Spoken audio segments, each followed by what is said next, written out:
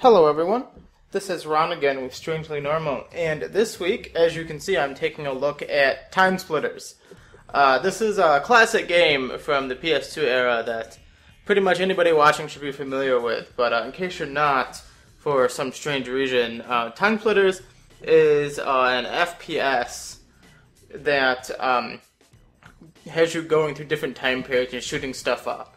We're gonna get into this here. I'm gonna load my load my profile here real quick. But this game was developed by Free Radical and published by Eidos. Um, and essentially, it's it's classic FPS. Uh, it's very simple to play, very simple to get into. Um, these story missions is basically you just go into different eras in history, and uh, essentially you just go and shoot a bunch of guys. I'm gonna go to 1935. We're gonna go here, and it has all these weapons from different areas and things like that. And you choose a character, which is a male or female. Um, and then you get into it, and most of the levels involve you uh, going going through, finding something, and shooting a bunch of stuff up. Um, one another very big thing about this is that this game had a level editor, and you could make levels, place weapons, things like that. Which at the time when this game came out, about 2000, was uh, a very big deal and was almost unheard of. And um, let's see, now we're in here, so I'm gonna get started. I've got this pistol, and uh, so I'm in this right now, and basically, the entire game is you just go through and shoot guys. Um, oddly enough, um, there isn't like any jumping or anything. Uh, it's just you just run around uh, twin sticks. With uh, you, you just run around with period specific weapons and shoot guys. Find what you need to find. Let's see what I need to find in this one. Find the cultist Ankh. Okay. So let's see if I can do this here. And uh, the thing with this game is like everything had this like sort of like cartoony kind of style to it, and that re that really lent itself well. I was just checking some things out about that gun. All the weapons in this game have have uh, alternate and primary fires.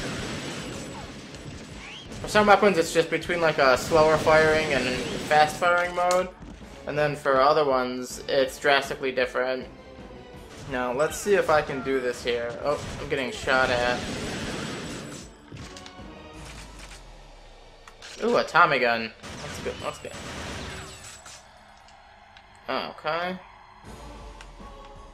Down here?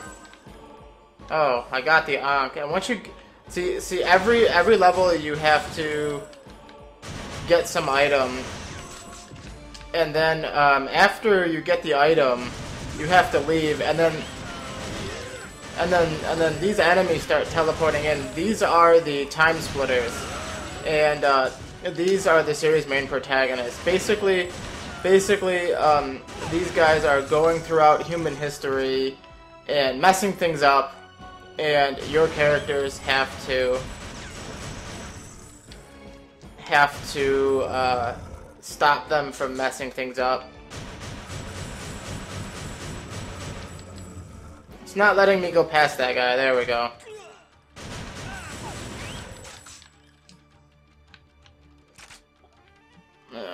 Trying to get out of here. Hmm, let's see if I remember the way out. But there's all sorts of different just eras of history, from the past to things like the future. I'm gonna try and get out of here and then maybe go to... They even have like present day ones. Um, and there were some sequels. Uh, the most the most recent one that was made was um, Time Splitters Future Perfect um, on the Xbox. I had that. That game is so much fun. Uh, you can clearly tell where they took the series. And uh, very similar vein.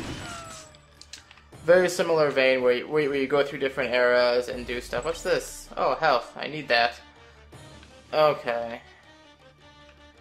One thing, though, is these maps are basically like mazes, which can be annoying when like you're just trying to get out, but uh, all in all, it's not too bad because uh, cause you move around fairly quickly. So here we go.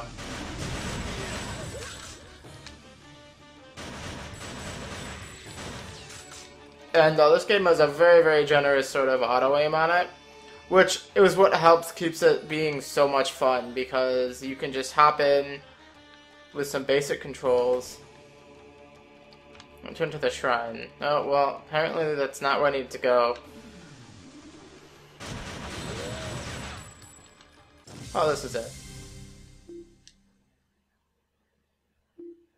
Yeah, and then there's just some stats. And uh, basically, by completing levels, you unlock more eras. Um, we're gonna let this load here, and I'm gonna go to another. one. I think I'm gonna try and do maybe like a future one or something like that.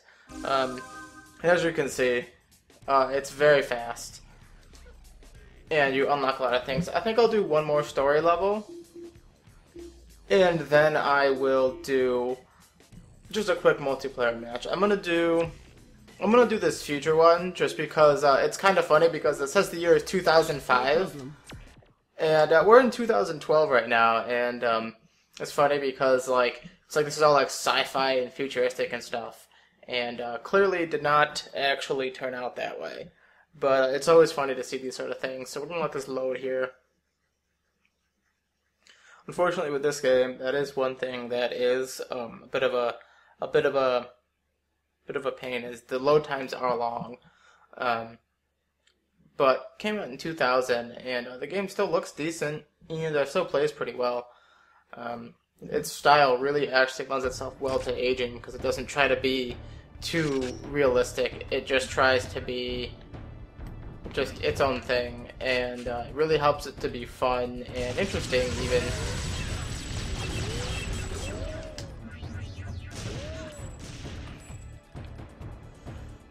Let's see.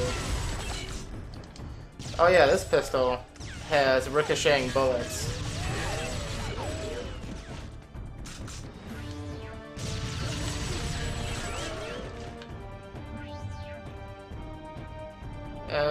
Let's see here.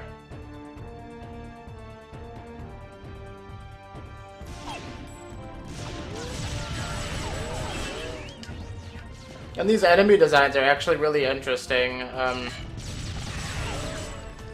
just because um, they're period specific and they're like set.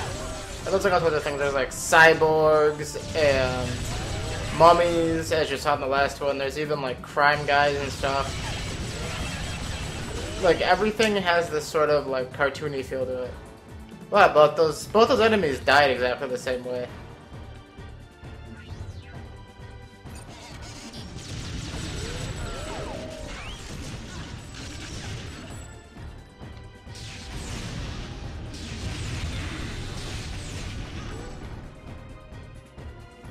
Okay.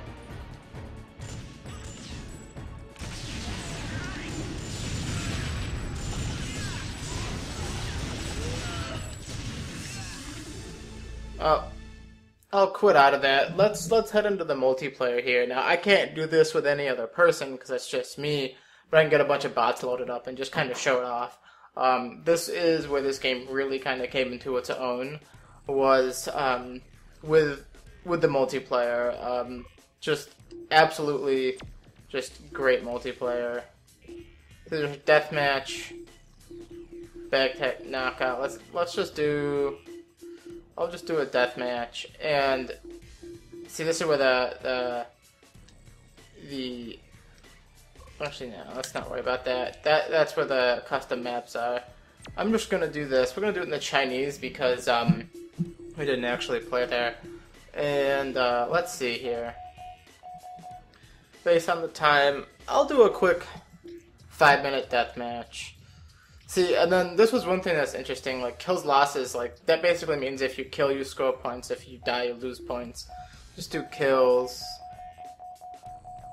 Let's have no score limit because this is. Have team play. Team deathmatch is always a lot of fun. Yeah, see, just just all sorts of stuff, and then you can do.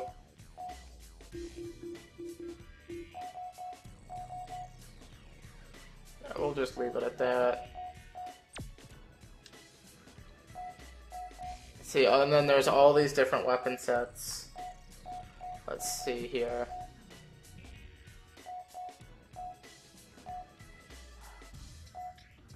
I'm just gonna try and find. I'm just gonna try and essentially.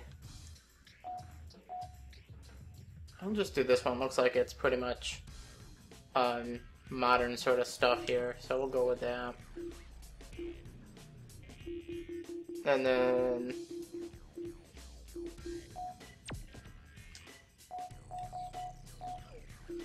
so yeah, let's see here.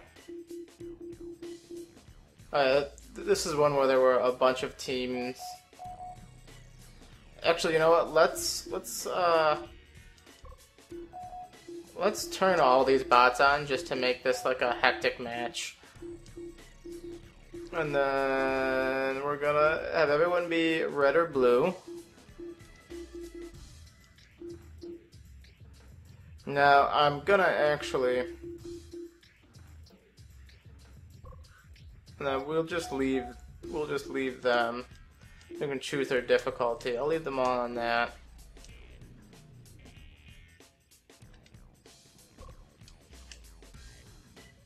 Okay, now I just want to... Okay, we'll start here. And I can choose my character. All these different ones that I can play as. Ah, here we go. I will play as a cultist. I'll just be on the red team. And uh, basically, these multiplayer matches are just like so hectic, so much fun. Um, once this finishes loading up, we'll, we'll see. It's just, it just everywhere, just so many guys shooting on different sides, and and you can really kind of see like where at least some of the modern stylings of current uh, deathmatch kind of came from, just just in how um how it plays and how fast it really is. But let's wait for this to finish loading here. Alright, looks like we're started. I started off with two pistols. Now I just need to find guys and kill them. Oh, there's some body armor.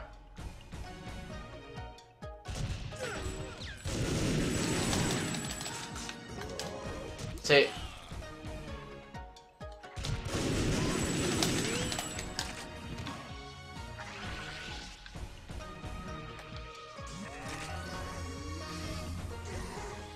Yeah, this multiplayer, it's just...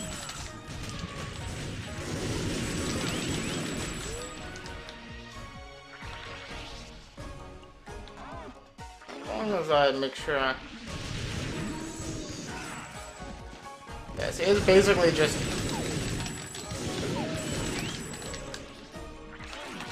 Just guys all over the place.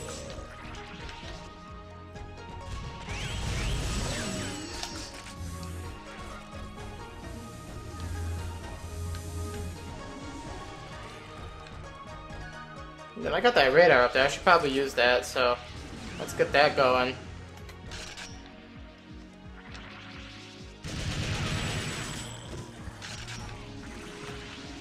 See, generally in this...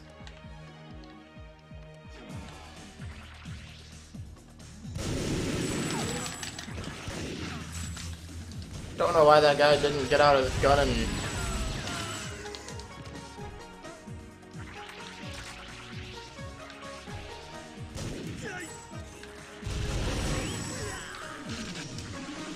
Now, see, this map is a little bit more cramped, so uh, not seeing some of the...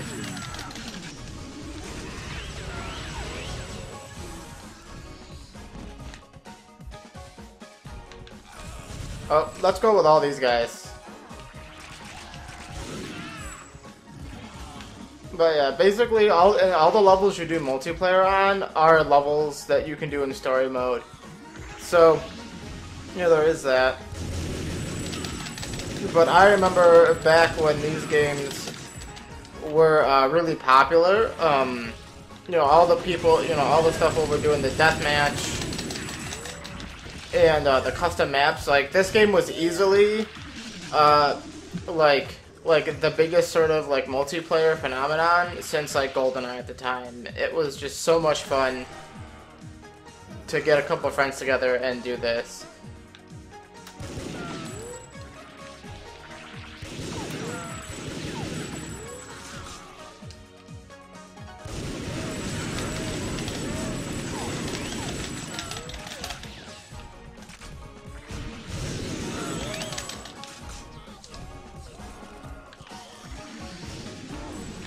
Nowadays this multiplayer hasn't aged quite as well um, with online play and all that, but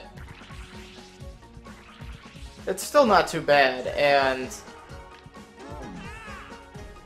yeah, it's still very fast paced and just kind of.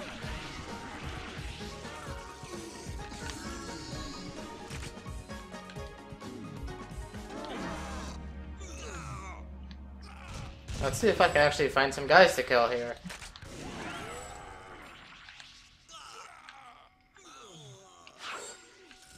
Hmm, got some body armor. That's that's handy.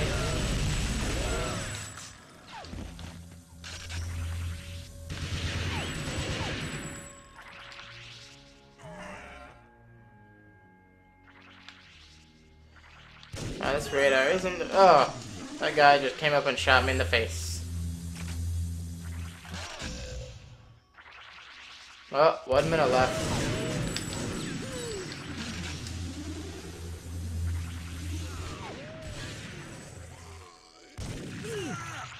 Oh, jeez.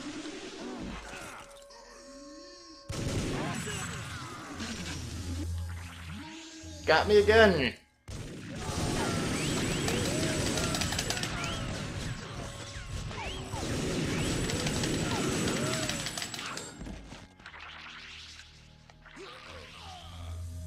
But let's see. Uh, let's let's finish this up here. And the settings in these games are actually always at least kind of neat because, I mean, just right off the bat, nothing really unlocked. You know, three options right there. You know, I can.